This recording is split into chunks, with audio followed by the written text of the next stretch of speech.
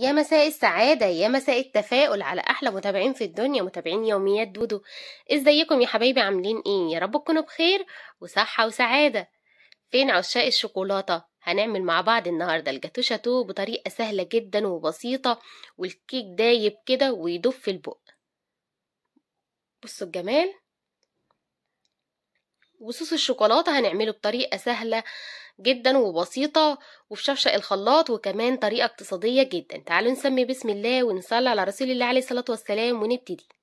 هنجيب شفشق الخلاط ودي فيه فيه نص نص كوباية من الزيت ونص كوباية من الحليب. أهي نص كوباية أنا بعاير كله بمج واحد. ونص كوباية من الكاكاو الخام. ونص كوباية من السكر البودر. واضربي لي يا غالية كل الخليط ده وخليه كريمي كده. هجيب مج عندي بقى كده وهنزل بصوص الشوكولاتة التحفة ده.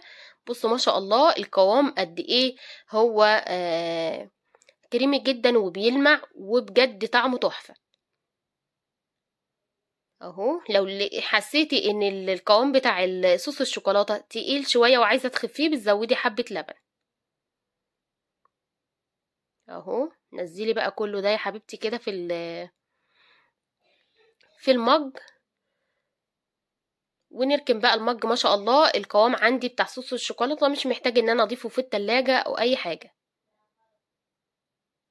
هنزل بقى في شفشق الخلاط مش هنغسله ولا أي حاجة هضيف فيه أربع بيضات. وعلى طول الفانيليا. بكوين من الفانيليا. بصوا بقى الجمال سهلة جدا. كوباية وربع من السكر. أهو.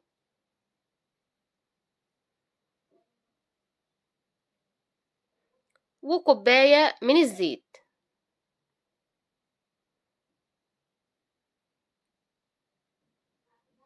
وكوباية من الحليب. كوباية ونص كده من الحليب.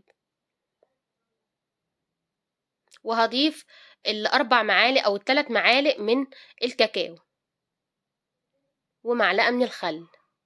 وبصوا يعني حاجة كده ما بين صوابعك من الملح. ضربت كل الكلام ده عندي في الخلاط.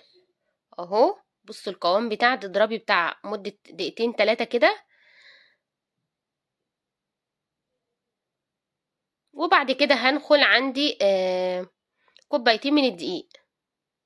عليهم باكو من الكيك شيف أو ال baking powder بس أنا بحب أستخدم كيك شيف. بحسه أحسن من ال baking powder وده وده واحد يعني. أهو بقول لكم إن أنا كده نخله كوبايتين. نخلت كوبايتين كده وجهزتهم مع ال baking powder. هسمي بقى بسم الله وتنزلي شوية بشوية من الدقيق. وتقلبي لغاية ما يديكي قوام آه القوام المناسب اللي هنشوفه مع بعض حالا.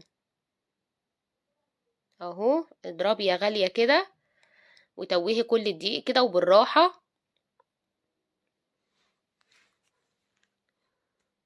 لغاية ما يدينا القوام اللي إحنا عايزينه. وعندي صوص الشوكولاتة أنا ما ضفتهوش زي ما قلت لكم في التلاجة لأنه قوامه حلو جدا. مش محتاج إن أنا أضيفه في التلاجة. يعني إن أنا أدخله التلاجة يعني. أهو قلبي وتوهي كل الدقيق اللي معاكي ده. لغاية القوام لا يبقى سايل قوي ولا يبقى آه قوام تقيل معاكي قوي.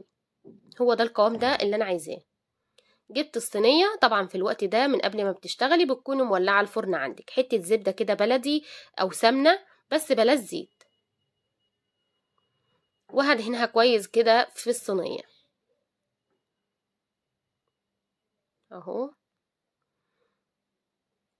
النبي عربي لا فرشة ولا أي حاجة. أنا لقيت جنب الزبدة فخدت قطعة كده وبصوابعي حط like و comment منك حلو بعد ما تسمعي الفيديو للآخر وجربوا الجاتو النهاردة بجد هيبهركم. أهو بضرب طبعا آه بدي الخليط عندي كده ضربة قبل ما اصبه في, في القالب بتاعي. وببتدي على طول شلت المضرب وهنسمي بسم الله وننزل بالخليط. بصوا ما شاء الله القوام بتاعه حلو جدا. هتاخد معاكي من نص ساعة أو أربعين دقيقة في الفرن. على درجة حرارة مية وتمانين تطلع معاكي فلة. ودايما بقول حسب الفرن بتاعك برضو. نخبطها خبطتين كده وندخلها بقى الفرن. ما شاء الله لا قوة إلا بالله. طلعت مش محتاجة إن أنا أسقيها ولا أي حاجة وهي سخنة كده وطالعة من الفرن وزي الفل ارتفاعها كويس جدا ما شاء الله. كنت ممكن إن أنا آه أعملها على طبقتين أو ثلاثة الكيكة ما شاء الله أنتوا شفتوها في أول الفيديو مرتفعة وحلوة قوي.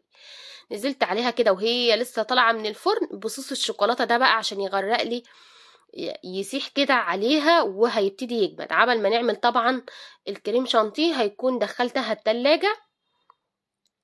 أو بتسيبيها تهدى شوية وبعد كده بدخلها التلاجة. عندي كريم شانتيه اللي هزين بيه ده طبعا اختياري. نص كوباية من الكريم شانتيه وربع كوباية من السكر البودر ونص كوباية من اللبن المسلك. في قطع كده أو مكعبات من التلج. واضربي يا غالية لغاية ما يديكي قوام حلو كده أهو.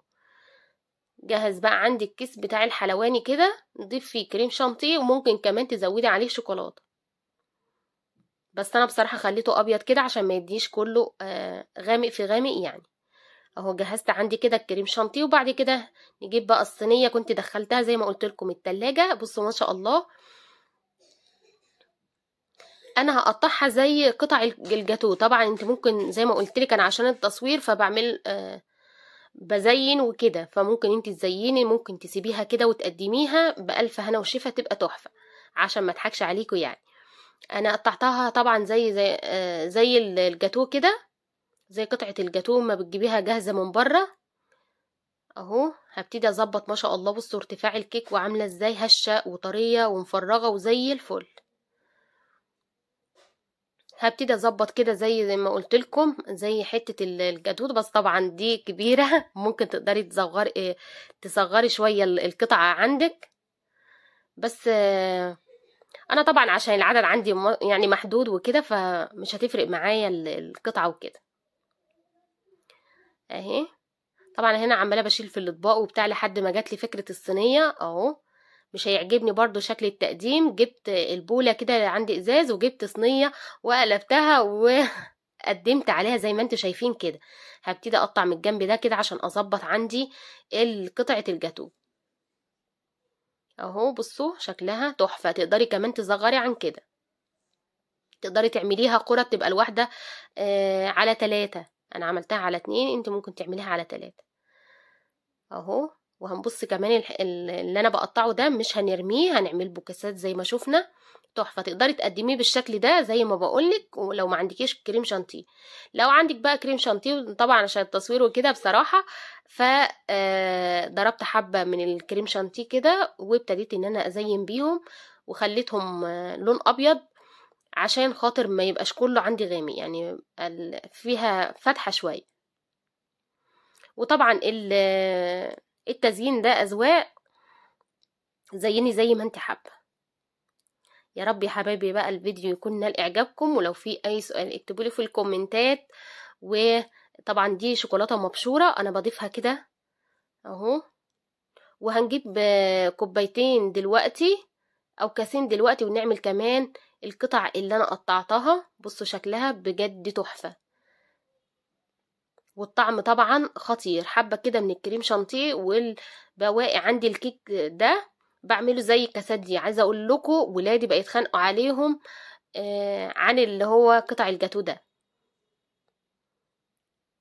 أهو طبعا بصوص الشوكولاتة كده عايزة أقول لكم فظيعة والله العظيم تحفة. وهبتدي أزين كده عندي الكاس بالطريقة دي. كريم شانتيه وشوية شوكولاتة بقى مبشورين من على من فوق وشكرا على كده. هي بصراحة مش عايزة أي تزيين ولا أي حاجة هي شكلها كده تحفة. بصوا الجمال بصوا جمال الكاس عامل إزاي؟ تحفة. والجاتو يا رب بقى النهارده يعجبكم الجاتو شاتو آه طريقة سهلة وبسيطة وتقدري تعمليه في أي وقت وأي مناسبة. وبألف هنا وشفا والسلام عليكم.